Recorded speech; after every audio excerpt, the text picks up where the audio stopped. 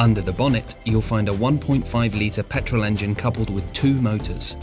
Electric drive is used when pulling away from a standstill and low speed driving, delivering electric vehicle like silence and instant response.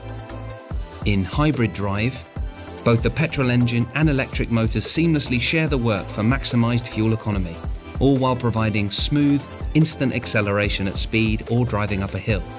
In engine drive, the petrol engine directly powers the car during high speed motoring. And the regenerative braking system restores the battery's charge, making it fully self charging with no need to plug in.